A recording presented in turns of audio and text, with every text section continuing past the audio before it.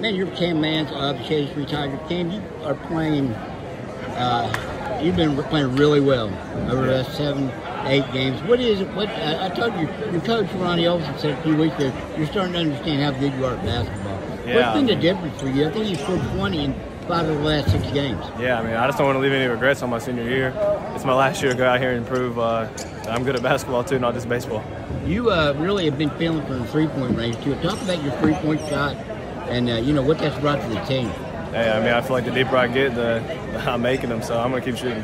Uh, can, uh, Braden's uh, technical foul there in the third quarter. Yeah. After that, you guys went on like an 18 three run. Actually, I think it was 18-0 after Braden's Braden Hawthorne dunked down here. Yeah. But uh, you guys outscored like 24 to five that, something like that in that period. What did that kind of give you guys a spark you didn't have? Yeah, I mean, we, we needed a spark all game. Obviously, we didn't start the game off right, and uh, I'm glad we got the spark in the fourth quarter. What uh, in a situation like this, you just give Woodrow a lot of credit for what they were able to do for three quarters. Yeah, I mean, I don't think anybody thought they were going to come in here and hang with us, and they did, and they played a great game, and they played great all year. The record doesn't show it. I mean, they're always in a close game like this, and uh, you know they're a great team. You and uh, Amar kind of really carried the team in the first half.